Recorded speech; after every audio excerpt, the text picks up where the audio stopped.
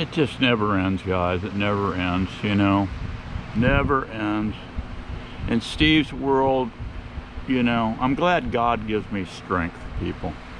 You know, He's giving me strength because I need it, okay? It's just, I'm just getting bombarded right and left. Not so much on the right, but definitely on the left. Yeah. With everything on the left is screwed up, okay? Everything they touch is screwed up. Duh. Wow. We need an election soon, guys. I mean, soon. Anyway, if it wasn't for the crazy, you know, if, if Steve O's plate wasn't full enough with the crazy far left shenanigans, illegal shenanigans too, by the way.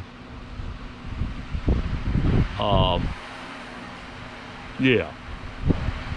But that wasn't enough, you know. Now I go out there and we've got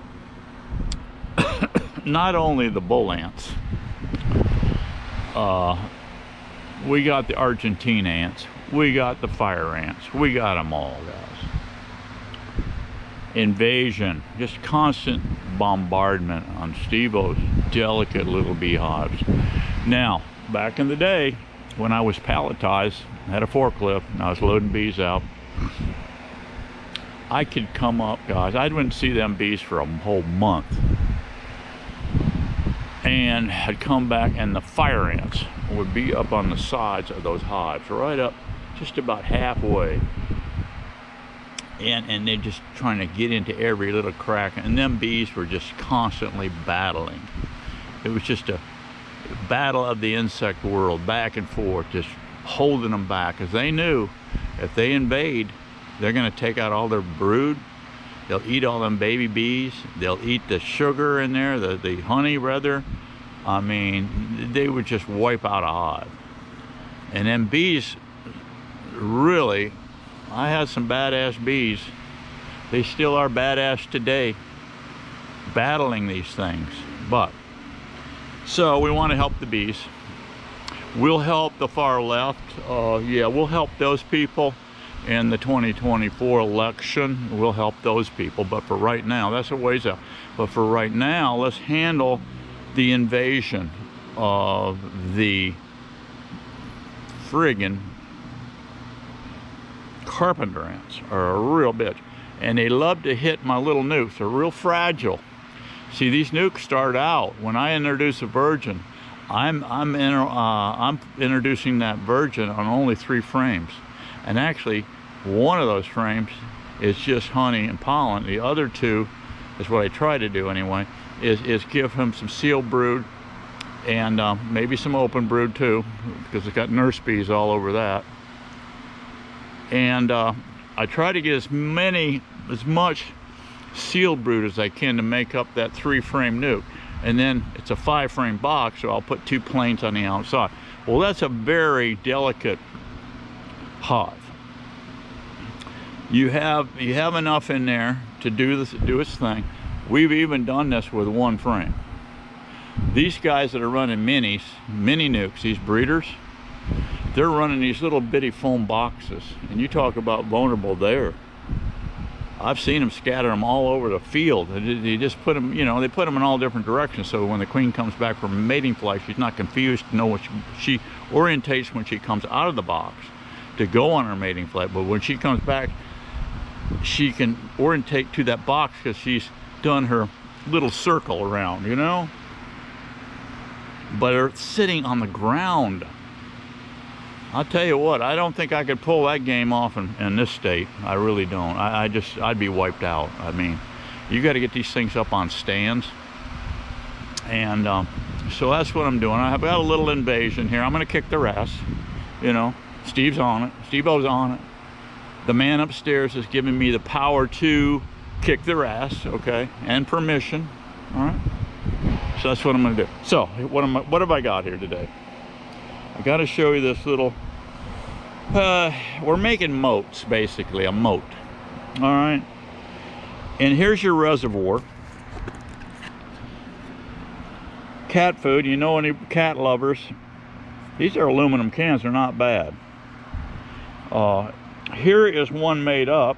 That's the reservoir. You're gonna put used motor oil. Go down to your mechanic buddy and ask him for some used motor oil. Get a get a uh, get a jug like this. Don't get confused. Put used oil on it and just save it just strictly for your ant moats. And here's the platform right here. All this is is a two by four. I caught it, took a two by four. The last one I had, I cut a rail out of it. I just split it. A concrete block. Everything's sitting on concrete block. And you want to level your block from this end to that end. Make sure it's level. You can just throw you a, rail on it. I use pipes. Now a lot of guys can use use I've seen strut sign struts. That works good too. Them are good and sturdy. The pipes I have, you could use chain link. Guys, you could use chain link and you could use these here if you could get them eight foot long. See the uprights, the uprights are thicker. If you had really lightweight nukes, you could get away with this thin stuff here. You, you, you see it all over online. People throwing this stuff away, you can get it. So it's not like you got to go out and buy stuff. And concrete blocks, the same thing. There's concrete blocks. You, you can get those. They're 16 inches. Those blocks are 16. So you lay them flat. You level up the ground. And then this is going to go on. This is going to go on each end. You're gonna have a concrete block sitting under here level, right? And one down there level, whatever the length of your piping is. And you just take 14 gauge wire, buy your rolls of wire, Lowe's, whatever, and wrap it, pull up in the center. You're gonna feed out of the center of this reel, okay? Cover it with Gorilla Tape. And that way you can just set this down. and grab it with your lineman pliers and jerk out what you need and you fold it in half and then you pinch you pinch that one end together. You pinch it together. I did an eighth inch pilot hole okay? And then I came back with a quarter inch and went down through. So that works out really really slick. And just throw your wires in and when they're bunched up just slam them down there. Use PT lumber. Get some mileage out of this stuff. Get PT lumber. All right? You can buy two by twos, cut them 16 inches, or you can buy two by four. If you got a table saw, split it.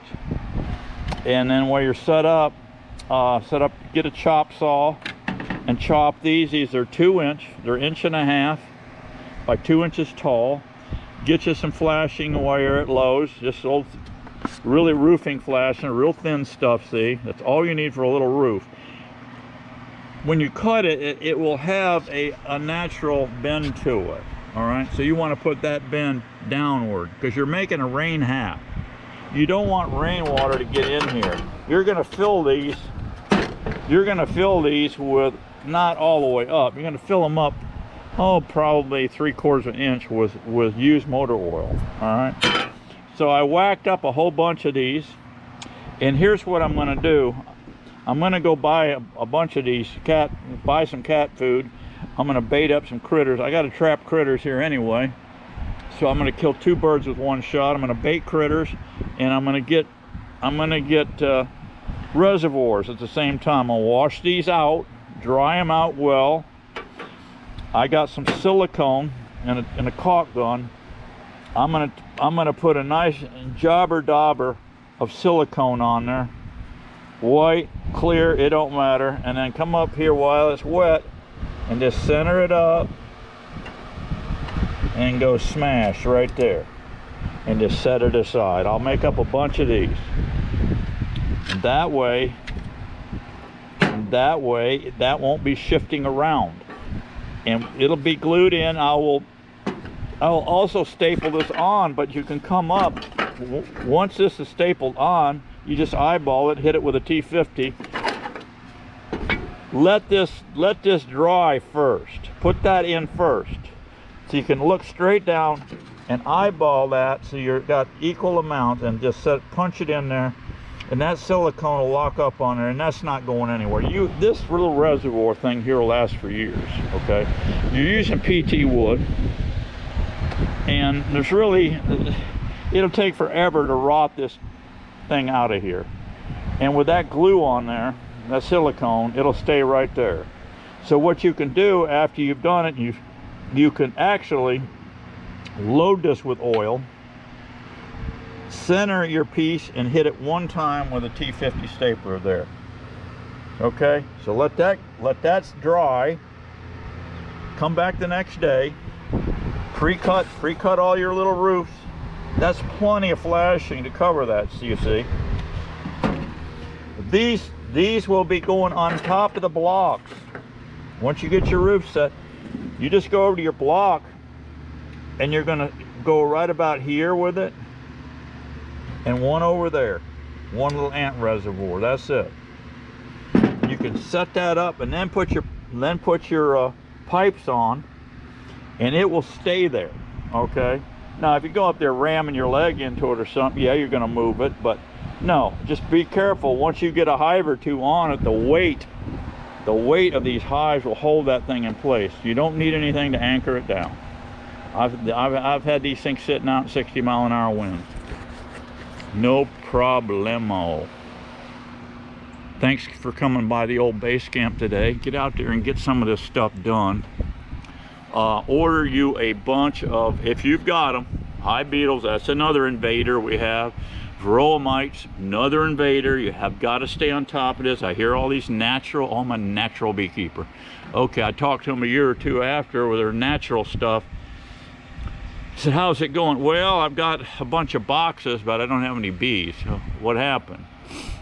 Uh, well, I don't know. They died out. They all died out. Really? Yeah, they all died out. What'd they die of? I, don't know. I, I don't know. They were doing fine for a while, then they all died out. All right. Well, they're not paying attention. And, um, and if you're not paying attention, you're going to get wiped out, okay? So you have to stay on top of it. It's a maintenance thing all this stuff I tell you guys is maintenance, okay?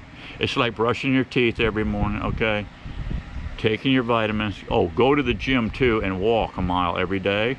That's another thing I'm throwing on your plate. Uh, yeah, and then maintaining your bees, all right? So you got to stay with this stuff. Uh, otherwise, you'll lose your bees, and that ain't good, all right? So I'll see you on the next one, guys. Be happy, be strong. We got to keep getting it on. See ya.